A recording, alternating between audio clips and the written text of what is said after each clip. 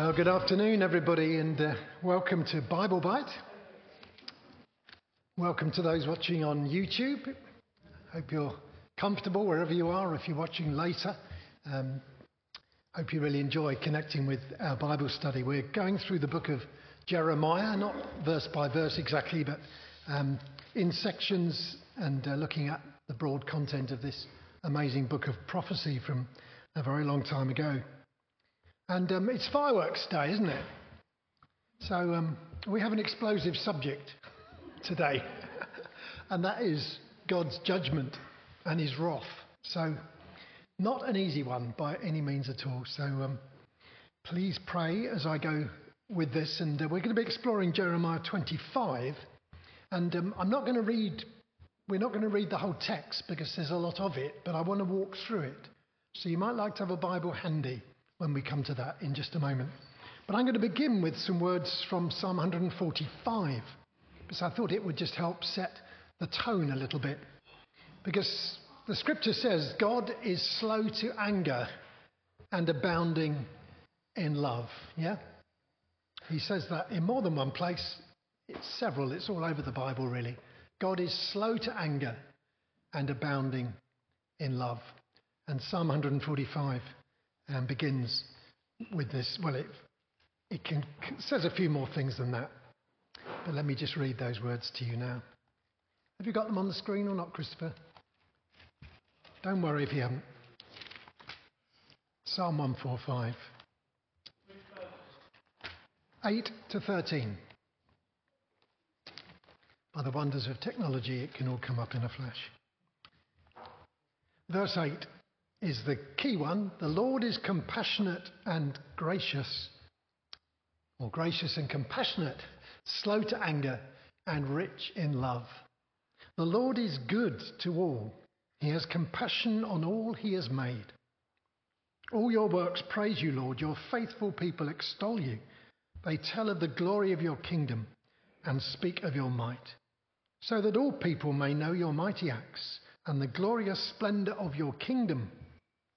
Your kingdom is an everlasting kingdom, and your dominion endures through all generations. I thought that was just beautiful. It sets the context for us, doesn't it, as we consider difficult material. The truth is, God is sovereign, He is supreme over all things. And deep down inside, compassionate, kind, caring, slow to anger, and rich in love. But He's a holy God, is He not? And um, holiness requires things to be right so we're going to begin with that great hymn Holy, Holy, Holy, Lord God Almighty. Early in the afternoon, our song shall rise to the. You can sing what you like, but um, you think of it. I mean, it's morning in the USA at the moment, and we'll be praying for them in just a sec. Boy, do they need it. So please stand if you're able, and let's sing together this wonderful hymn.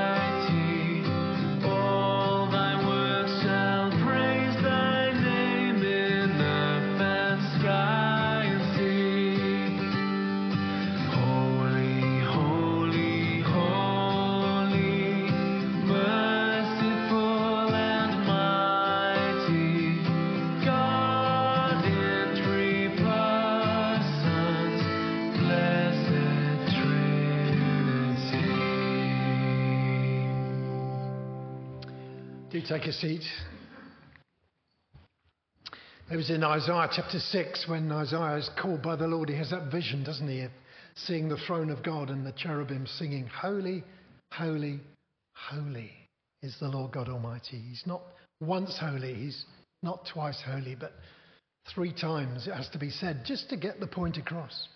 God is a holy God. Let's pray. Lord God, we thank you that in a world that is marred by all kinds of rubbish and darkness and things that are, are wrong, you are a God who is just and upright and true. And we thank you for that.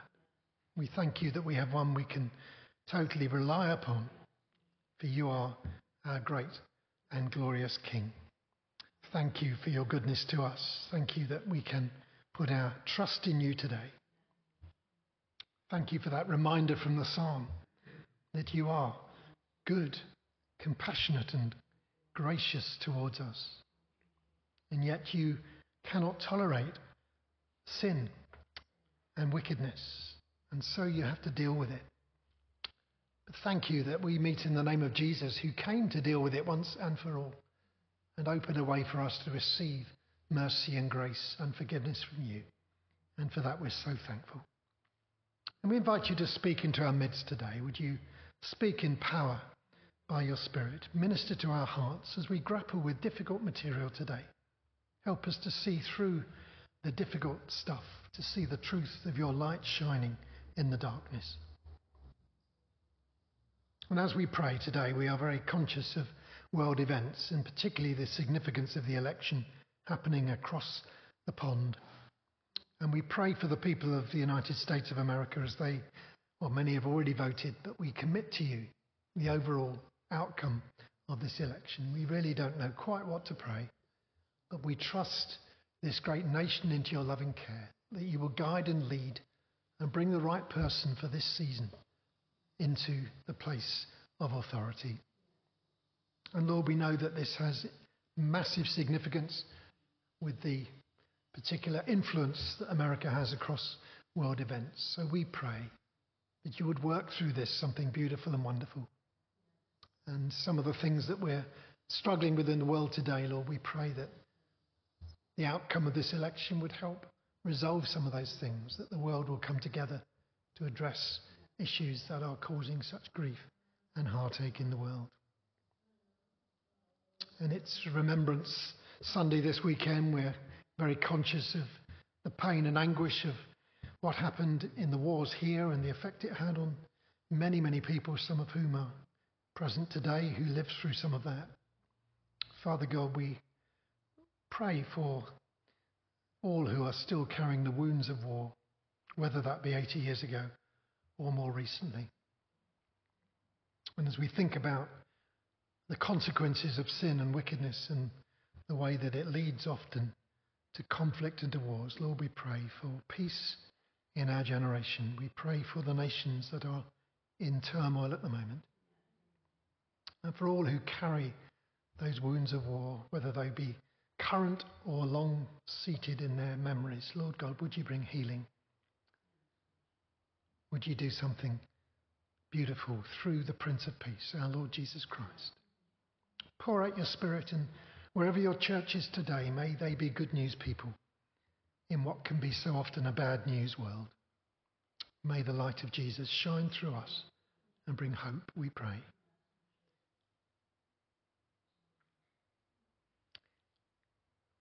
Some of you know um, Noma, who was here from Zimbabwe.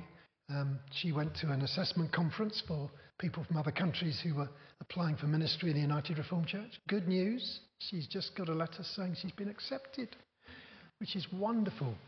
So um, that would mean that she will go onto the list of ministers available to be called to a pastorate. So we need to pray that somebody would call her to be a minister in their church, and then she would move into a position of being a stipendiary minister like myself, serving in a church, housed for, with our family and looked after with all the immigration stuff as well that you know needs working through. So praise the Lord. We thank you for this wonderful good news for Noma. She was watching on Sunday. If you're watching today, Noma, our love goes out to you and the family. We are rejoicing with you that this is good news that opens the way for you to serve in this country. And Lord, we do pray that you would lead this family to the place that you've got lined up for them, that there would be a place where they can serve as a family and be a, a great inspiration and help to the congregations in whatever area that is. Thank you, Lord, for looking after these dear friends. Thank you that we can stand with them from a distance and continue to uphold and pray for them in the next chapter of their lives. So thank you, Jesus, for your goodness. We rejoice. And we pray for the church across our nation that you will go on building up the body of Christ, that you would demolish barriers that separate us and bring us closer together as we seek to follow Jesus and be his people today.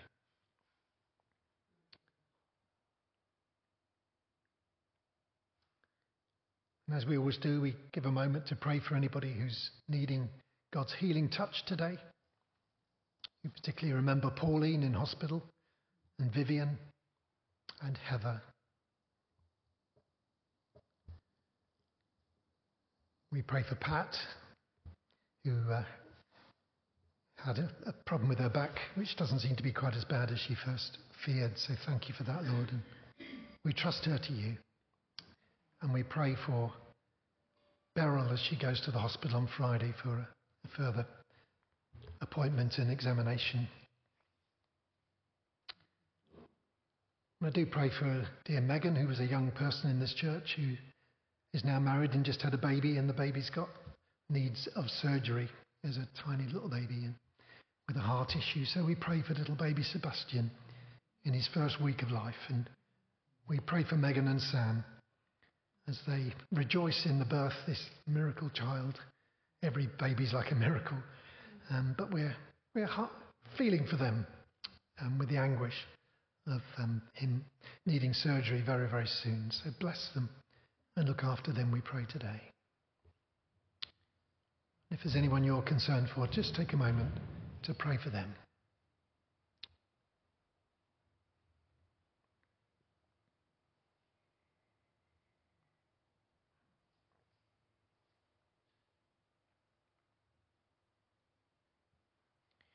Do just also lift you um, Liz, whose mother, they had a memorial service in Wroxall this morning for her.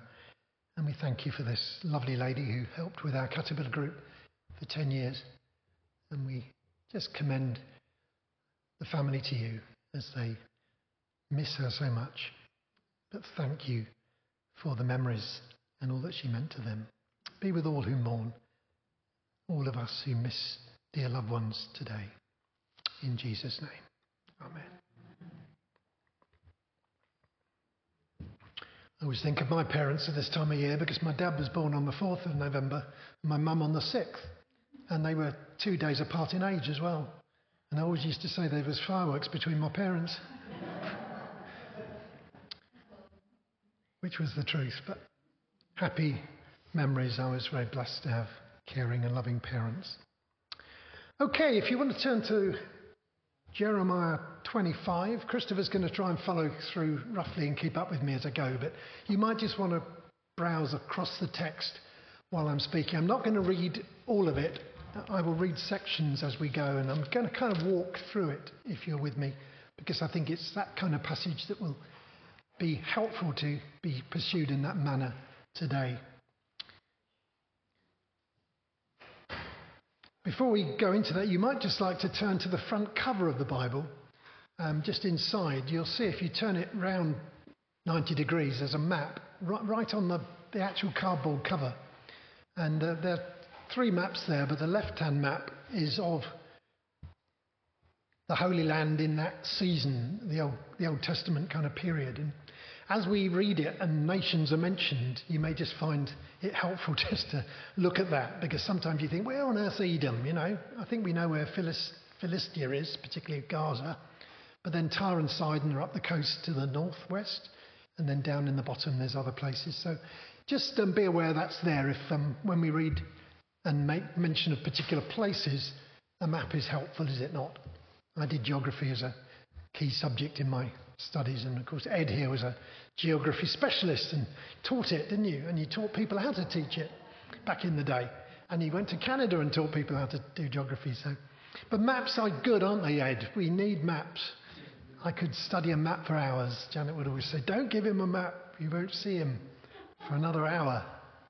It's just one of those things, isn't it? Some of us, you know, sat navs are fine, but I like to know where I'm going. yeah, I think the Bible's a bit like a map as well sometimes. We like to know where we're going, don't we? And some of that's perhaps in the text today, but some of it is very thick and difficult to find our way through. So I'm kind of warning you there. But we started with thinking about Isaiah and that sense of the holiness of God. And what was his response? Woe is me. I'm a man of unclean lips. He immediately knew, the, the prophet Isaiah, this is, that he could not be in the presence of God because God is holy and he was not. Simon Peter, when the miraculous catch of fish, what happened? He falls to his knees before the Lord Jesus. And what does he say? Go away from me, Lord. I'm a sinful man. He just knew that he wasn't worthy. And the Lord had to do something about sin, didn't he? He provided a means of sacrifices. An animal would be sacrificed as an offering to stand kind of in the place. Instead of the people of Israel having to, to die for their sins, an animal stood in the gap. Poor thing. Its life was given up, its blood was shed. And through that, atonement was made, forgiveness of sins was offered. And of course, as Christians, we look at the cross and are reminded that ultimately Jesus sent his Son to be like that, that sin offering, to open the gap for us to know God and for our sins not to block that relationship and get in the way, to restore a broken relationship, to bring reconciliation and allow us to call God our Father. So that's setting a little bit of the context. Let's dip into chapter 25. And as I say, I'm going to walk through some key points because it is a pretty crucial chapter. And it's interesting, like last week, and this chapter has a very specific time frame. The word came to Jeremiah concerning all the people of Judah in the fourth year of Jehoiakim, son of Josiah, king of Judah, which was the first year of Nebuchadnezzar, king of Babylon. So we all know immediately that we're talking about 605 BC, don't we? of course we don't. but that's one of the few places in the Bible, you know, that you can really nail it. I mean, there are never any dates given because it was all based on which king was. I mean, BC didn't exist, did it? Until when? when there was Jesus. And even then, it's not actually necessarily the right date. Because nobody's quite sure. But somewhere around that time. So we started a calendar, didn't we? And that's how it kind of works. So we talk in terms of the years before Christ. And that was the year 605, according to our calculations. And what happened in that year was that Nebuchadnezzar from Babylon, or Chaldea as it's otherwise known, he overran the Egyptians, who were the kind of people in power at the time. They had sway across the whole region. And there was a battle at a place called Carchemish, assuming that's how you pronounce it. And as a result of that, things began to change. Although Nebuchadnezzar's dad died back in Babylon, so he had to go home and do what you do when your parents needed sorted out. So there was a kind of gap between that and when he continued perhaps some of the other taking over nations in that region. So it was a little bit of a, gap after that. But this is when the word of the Lord came, it says. And he'd spoken the word, it says in the next verse, for 23 years, from the 13th year of Josiah, son of Amon, king of Judah, until this very day. The word of the Lord's come to me, but what? You would not listen.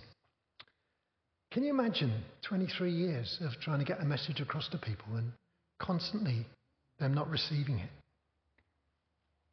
23 years suggests, of course, by our calculations, that Jeremiah's ministry began in 627 BC, if I've done my maths right. He prophesied the exile. In this passage, we'll find in a moment, he prophesied them going into exile 20 years or so before it actually happened. He saw it and he spoke about it, and people quaked and opposed him as we've seen as we journey through. And in verse 4, 5, 6, the Lord has sent prophets to you again and again, and you've not listened. Not just me, he's saying, it's been happening before. They said, Turn now, each of you, from your evil ways, your evil practices, and you can stay in the land the Lord gave you and your ancestors forever. Do not follow other gods to serve and worship them. Do not arouse my anger with what your hands have made. In other words, idols, false gods. Then I will not harm you. But you didn't listen. You've aroused my anger. You've brought this harm upon yourself, says the Lord in verse 7. So that's a bit of the backdrop. And then in verse 8 and 9, the Lord declares that he's summoning a people from the north and his servant Nebuchadnezzar, king of Babylon. Isn't that incredible? That Nebuchadnezzar, from this evil regime in Babylon, effectively is the servant of the Lord at this point. He was not, it wasn't a mistake. God says, I caused this to happen. He's serving my purposes at this time. And that's a very uncomfortable thought, isn't it? That God can use our enemies sometimes to put us right. Not only to bring disaster on this land, but it also says, and surrounding nations. So there's kind of judgment going on uh, among the nations around the nation of Judah as well. Of course, you may remember that the northern kingdom of Israel had fallen about 100 years earlier to the Assyrians. So the area that we might call Samaria and that northern part had already disappeared. Those tribes had dissolved and um, all kinds of syncretism began to happen. That's why the Samaritans were despised by the people of Jerusalem in the days of Jesus, because, you know, when people settled back in that land, it was kind of a bit mixed up rather than pure Judaism. That's another story, but there we go. The nations around Judah are addressed towards the end of Jeremiah. In fact, chapters 46 to 51 are oracles against the nations. I'm not intending to, to cover those when we get to that point in the book, because I think we'll have probably had enough of all this stuff. But it's interesting. They get listed here in just a moment. We'll find them in uh, verses um, sort of 18 onwards. We'll come to that in a moment. But there's a long oracle against different nations in those final chapters of the book of Jeremiah. Not final, the last chapter is about the fall of Jerusalem in chapter 52. But there is this uncomfortable story that God is bringing his servant from the north, although Babylon was actually to the east, if you look at the map. Um, they used to come round the top of the desert, it was the main trade route. So, like the Assyrians did, coming from the north, that boiling pot tipping over. Do you remember the vision of chapter 1? And Jeremiah saw it prophetically in his mind's eye. This is what was going to happen. And eventually, the Babylonians invaded them and the people would be banished from the land, verse 10 and 11 make that clear. And the beautiful, lovely things that happen there the voices of bride and bridegroom, the millstones turning, and sounds of joy and gladness all of that was going to kind of disappear tragically. And verse 11 tells us this whole country will become a desolate wasteland. wasteland. These nations will serve the king of Babylon for 70 years. That's pretty well a whole generation dying out. And that happened in the wilderness for 40 years, didn't it? Because God was judging the people who were always moaning and didn't believe. So he said, Well, you're not going to get there.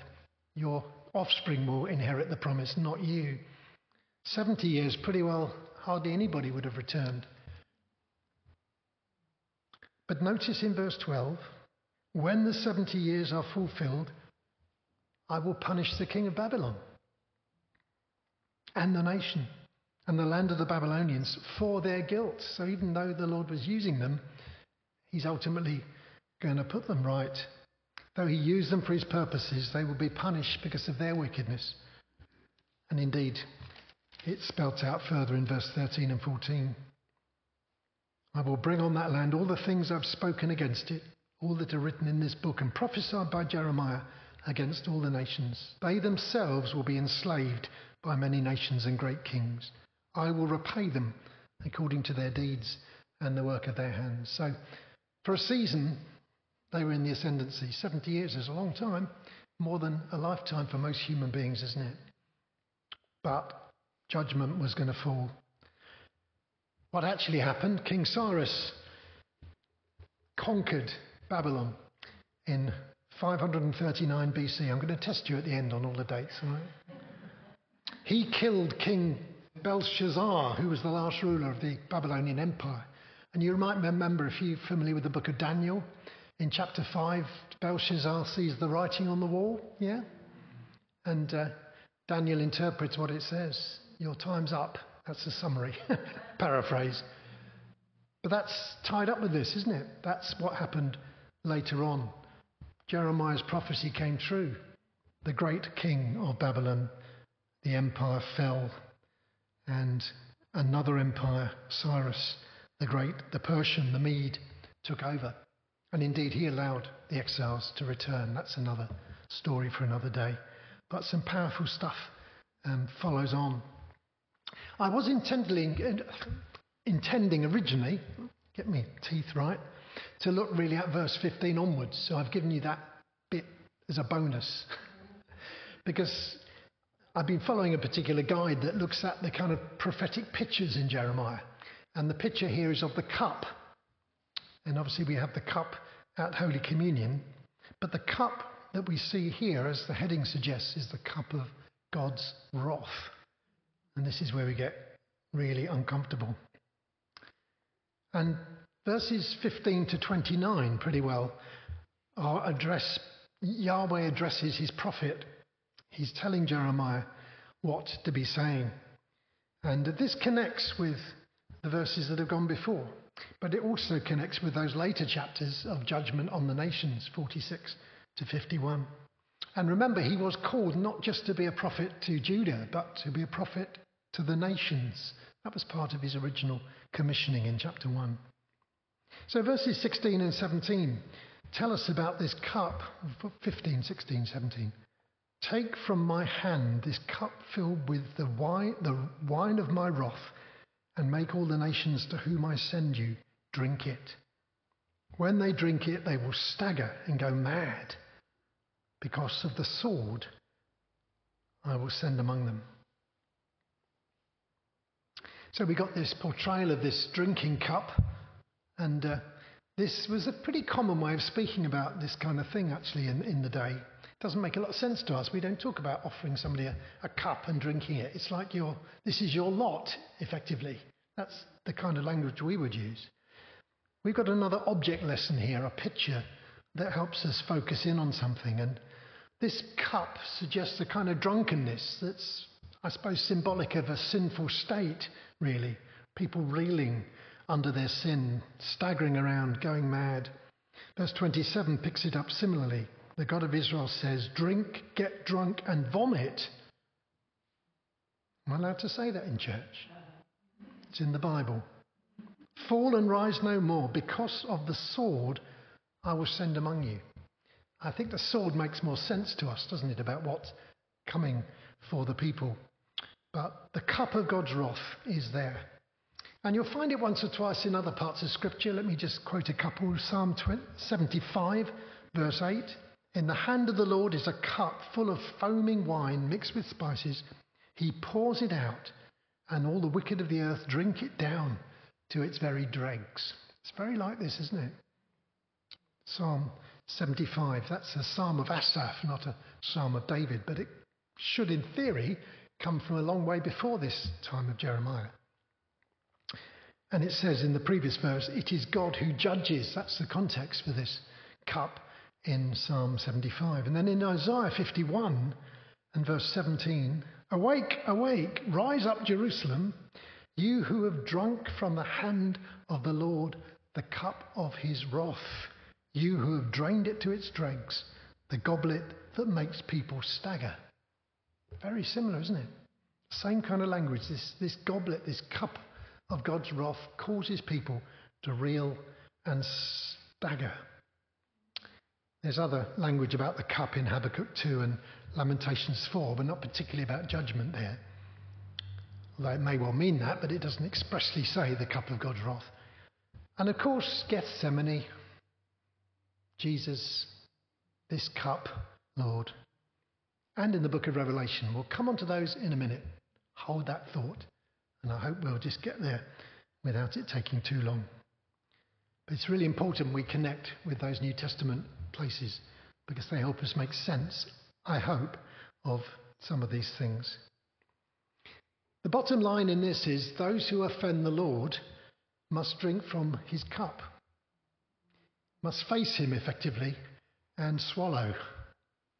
We sometimes talk about it, don't we? Swallowing something. I wondered whether my reading of that psalm at the beginning was kind of a spoonful of sugar helps the medicine go down, you know, sweetening us up to think about God and His goodness and His being slow to anger before we face the fact that actually He is a God of justice. We haven't got on our system actually the song Ascribe Greatness to Our God, the rock, whose work is perfect and all His ways are just. It's inspired from the book of Deuteronomy, I believe, as I recall. So, here we have it the cup. And Jeremiah is told to take it from the Lord's hand, verse 17, and make all the nations he's sent to drink from it. This it's not literal, is it? This is symbolic language of offering this cup and saying, You guys, you've got to drink this. This is what God is bringing to you. And it begins with Jerusalem and Judea. Isn't that terrible?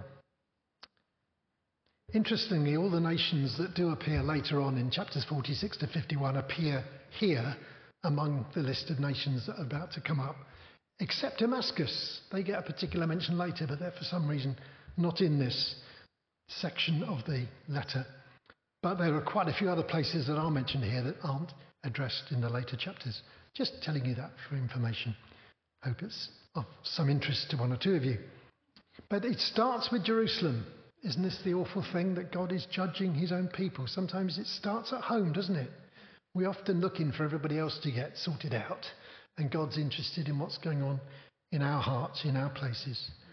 Jerusalem and all the towns of Judah, its kings and officials, to make them a ruin and an object of scorn and horror, a curse as they are today. That's interesting, isn't it? It suggests that some of that is already actually happening at the time. And if this was written, you know, before the fall of Jerusalem, as it suggested, then there must have been a sense in which that was already kind of being forced upon them. People were looking on them as poor old Jerusalem and Judea. You know, your time is up. Although they hadn't fallen and still believed that God was going to look after them. The shame was apparent already, it seems, according to that verse, as it is today. And then mention of Pharaoh, king of Egypt. He, of course, was the first one to fall to uh, Nebuchadnezzar. And all the foreigners that he got in that land, he'd actually captured quite a few and brought them there, a bit like the Babylonians would later do. They would all be judged, we're told. And then the Philistines, this is the western part, including Gaza, you'll notice in verse 20. The people of Ashkelon, Gaza, Ekron. And also the people left at Ashdod. What does that mean? It's like a remnant, really. Ashdod was actually wiped out by the Egyptians after a big siege, so there was only a bit of it left.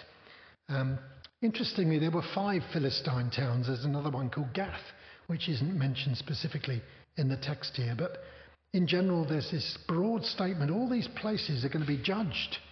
Then, verses 21 Edom, Moab, and Ammon. These are places to the east, if you look at the map, right down the eastern border of Judah and to the south. And then the kings of Tyre and Sidon, which is up top, northwest on the coast. Those places, of course, feature in the New Testament as well.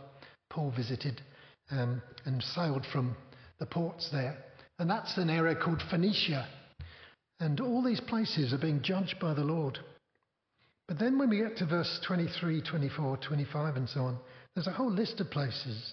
Dedan, Zimah, Timah, Buz, not Lightyear, I don't think, and all who are in distant places, all the kings of Arabia and all the kings of the foreign people who live in the wilderness, People on the fringes, that's a debatable um, piece of translation apparently there. All the kings of Zimri, Elam, and Media, and all the kings of the north, near and far, one after the other, all the kingdoms on the face of the earth. Wow. God's not happy. And this is pretty well all the known world. Jeremiah didn't know anymore. you know, these were he hadn't been to any of these places, but you know, reputation, you know, word flies, doesn't it? People tell. It was a lot of um, you know, people didn't have stuff in writing in those days. It was a, very much a verbal passing on culture, and people learnt about all these places. And there's a whole list of them there.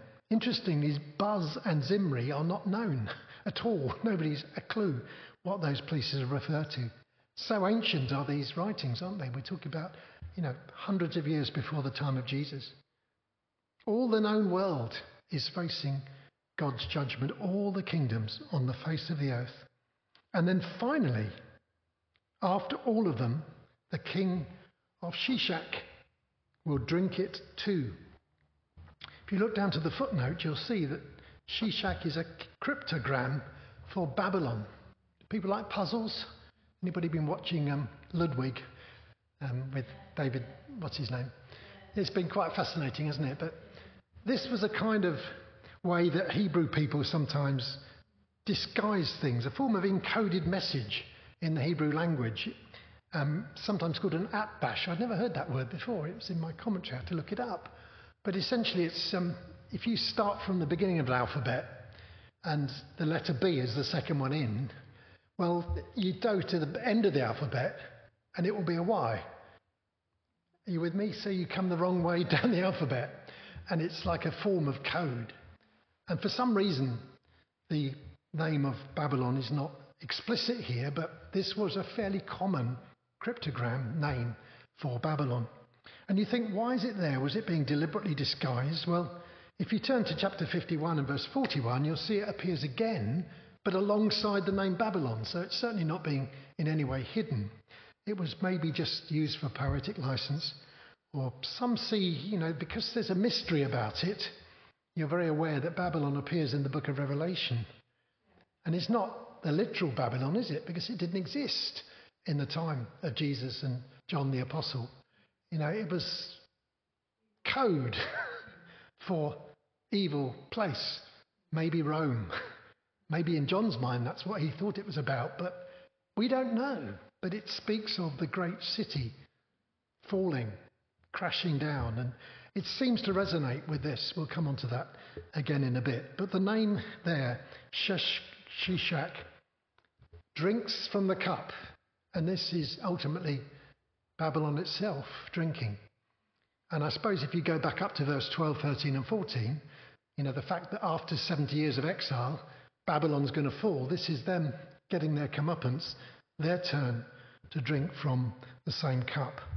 So that section seems to be talking about what's going to happen when Babylon overruns that whole region and all those countries and nations suffer Maybe not quite as far as extreme as some of the places on the um, Arabian Peninsula and so on, but actually the Babylonian Empire covered a massive area, the whole of that kind of region. But certainly not to the ends of the earth. but that's poetic language, isn't it? So often the Bible talks about all and everything. Luke does that in his gospel. Everyone did this, everyone did that. Well, it wasn't absolutely everyone. But the ends of the earth, well, that includes anywhere that was known to the people. God was not happy and he was judging, but indeed, Babylon, who thought they were winning, would one day themselves fall. And then 27 to 29, the Lord speaks directly to Jeremiah again. This is what the God of Israel says Drink, get drunk, vomit, fall to rise no more because of the sword I'll send among you. But they'll refuse to take the cup from your hand and drink it. So tell them. This is what the Lord Almighty says You must drink it. See, I'm beginning to bring disaster on the city that bears my name. Where's that? It's got to be Jerusalem, isn't it? The place where God chose for his name to dwell. They're going to have to drink this cup of God's wrath. And you will indeed. Will you indeed go unpunished? That's a question. And then he says, You will not go unpunished, for I am calling down a sword on all who live on the earth, declares the Lord Almighty. Not just on them, but actually his judgment falling on the sin of all people who are not living in the way that he desires. It's very uncomfortable stuff. This is about the holiness of God, isn't it? And the sinfulness of human beings. And then the, the rest of the chapter, 30 to the end, pretty well, is direct prophecy in a poetic style, continuing the theme of universal judgment. Happy theme that it is. All who live on the earth, it speaks about, to the ends of the earth. I'm not going to read it all through. Judgment on all mankind, God putting the wicked to the sword, disaster spreading from nation to nation. It says there in verse 22 a mighty storm rising from the ends of the earth. And the language, the Lord roaring from on high. That's the picture of a lion roaring, isn't it? And in fact, the lion is explicitly mentioned um, in verse 38. Like a lion, he will leave his lair. Of course, the lion of Judah, we find in the book of Revelation.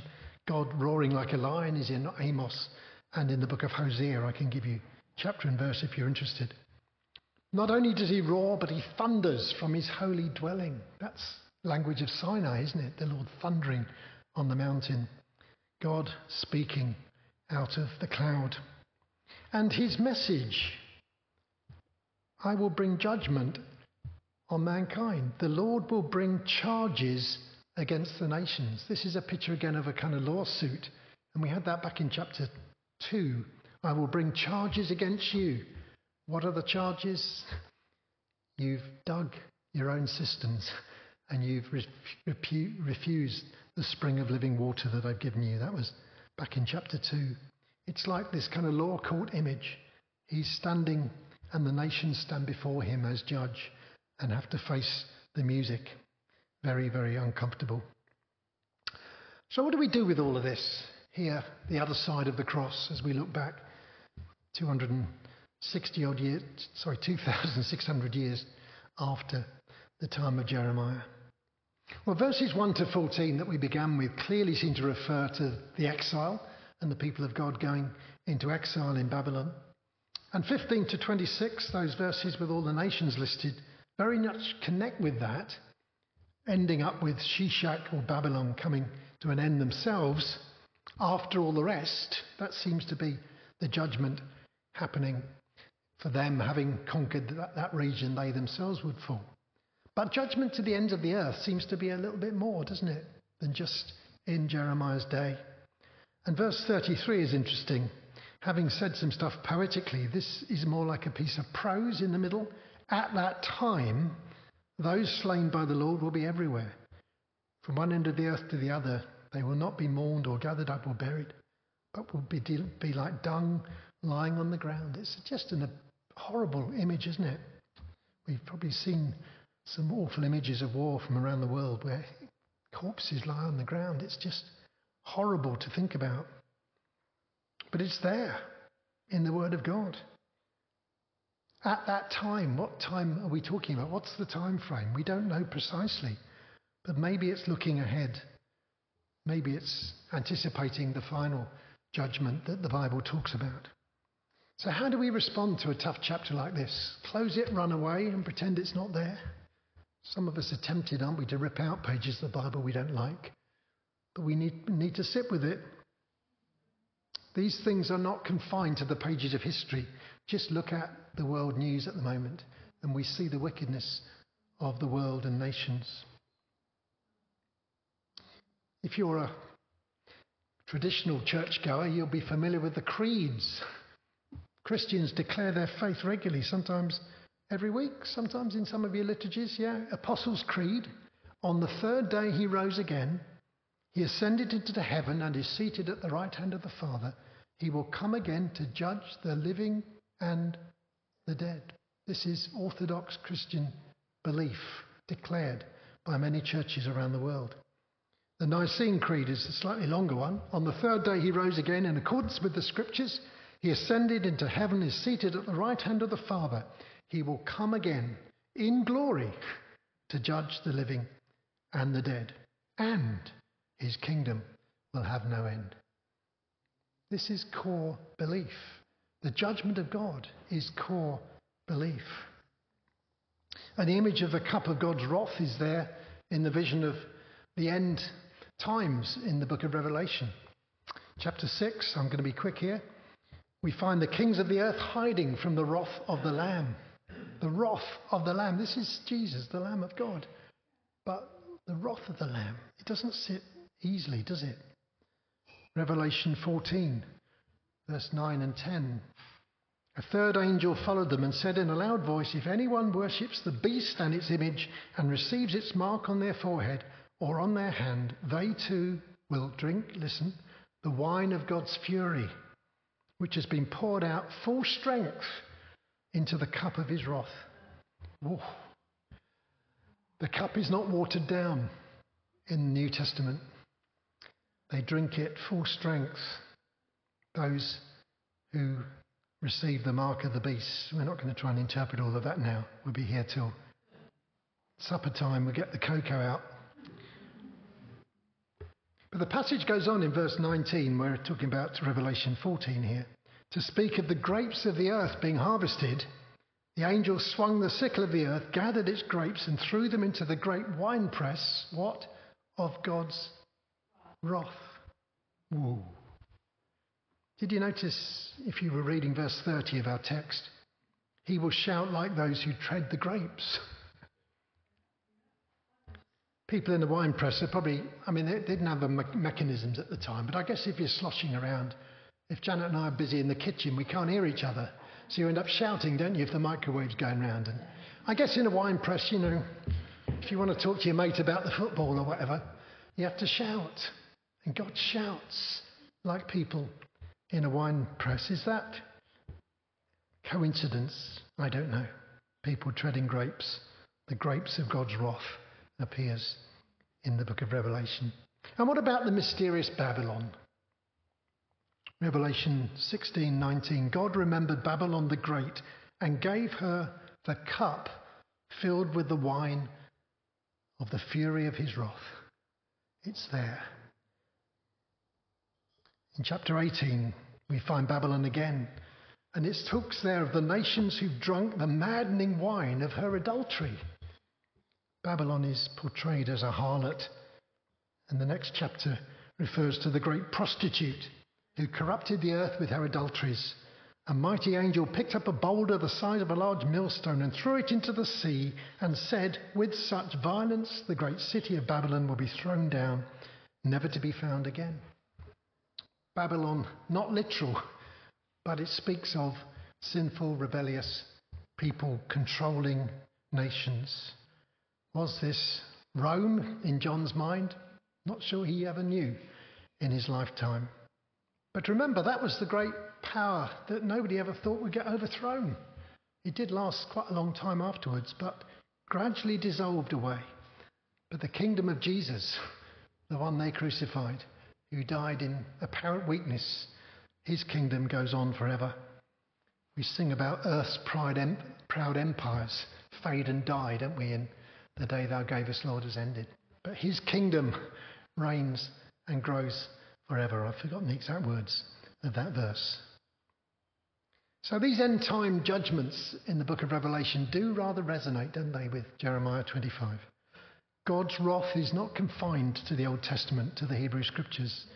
The same God and Father our Lord Jesus Christ is the God who does not tolerate sin. And Hebrews 12, verse 25 says this See to it that you do not refuse him who speaks.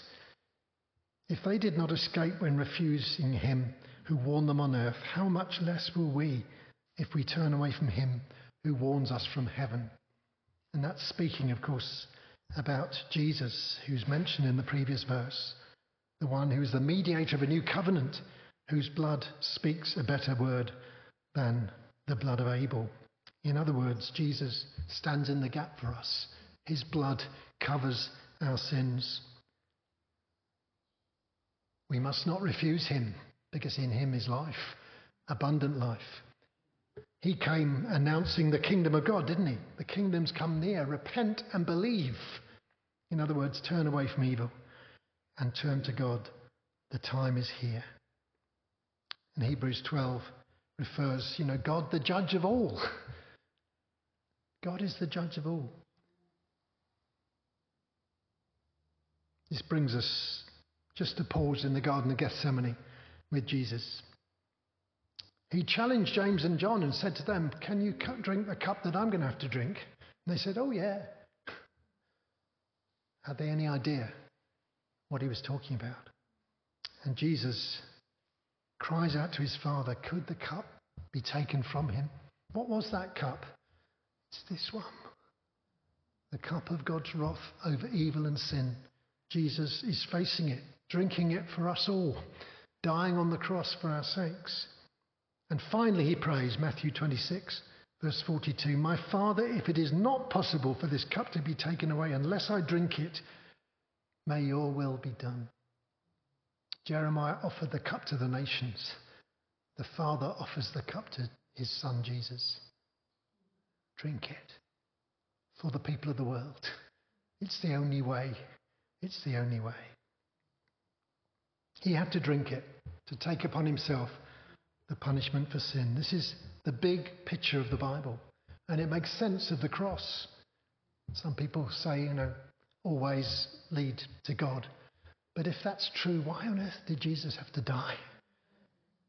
He came to stand in the gap and make it possible that God, in all his holiness, could be approached, that we could be called his children, not having our sins counted against us. Because of his grace, we can come to the throne. His blood atones for our sins, and we are forgiven. May we never take it for granted, friends, the price Jesus paid. And Hebrews 12 ends with these words, and they're quite well known. Since we are receiving a kingdom that cannot be shaken, let us be thankful and so worship God acceptably and with reverence and awe, for our God is a consuming fire. Gentle Jesus, meek and mild. Mm. He comes as judge. He will come again to judge the living and the dead. He's done it all for us that we might be received and forgiven, but ultimately we've got to decide. We've got to make up our minds. And these horrible stories of wickedness that we find in the scriptures and the rebellion of God's own people and their own kind of idolatry and adultery, really, with other gods are a warning for us. We must take that seriously and recognize that we are placed in a wonderful spot because of Jesus and we're invited to put our trust in Him. So let's do that in the quietness for a moment, and then we've got the final song. Let me lead us in a closing prayer.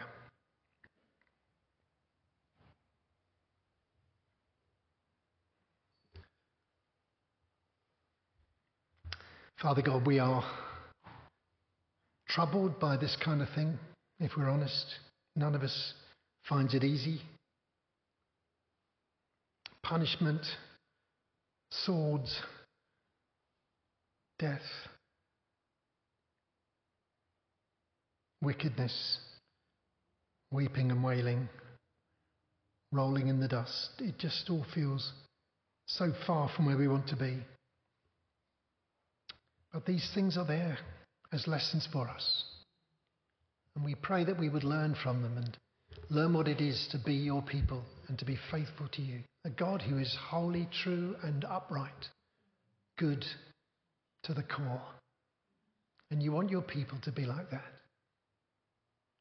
Help us to respond, to be faithful, to be people that want to be reflecting your image in the world today.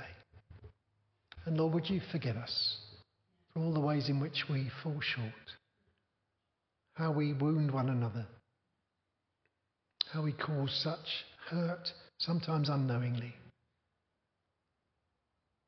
Sometimes we deliberately do things that we know are so wrong. Father, forgive us. Thank you that Jesus took it all upon himself and he went to the grave and buried our sins in the ground and invites us to rise with him as new creations. Help us to know this good news and to live it out and to bring that message of hope to the people around us. May we be people that can celebrate because you've done a great and mighty thing for us. And you love the world so much that you gave your only Son, that whoever believes in him should not die, but have everlasting life. Amen. I don't know about you, but I'm exhausted. We've got a song which is um, from Rend Collective, actually. It's called um, The Art of Celebration, but it begins with the words about uh, I come before the throne of grace. And it's just a beautiful song. If you don't know it, just let it minister to you. But let's um, join in. It's quite easy to pick up, actually. And it, um, it's, yeah, a beautiful song that reminds us that we are able to access this beautiful place of healing and restoration. So let's sing as we close.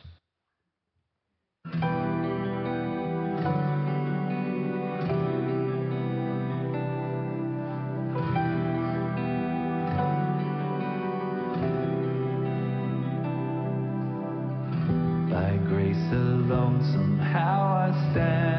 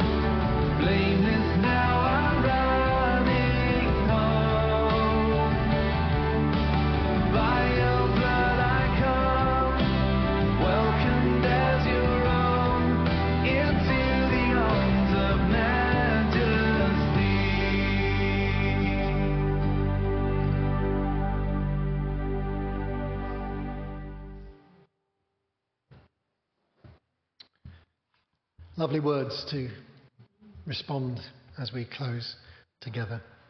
Final words from the end of 2 Thessalonians. Now the Lord of peace himself give you peace at all times and every way. The Lord be with all of you. Amen. God bless you. Don't have nightmares, as Shaw Taylor used to say.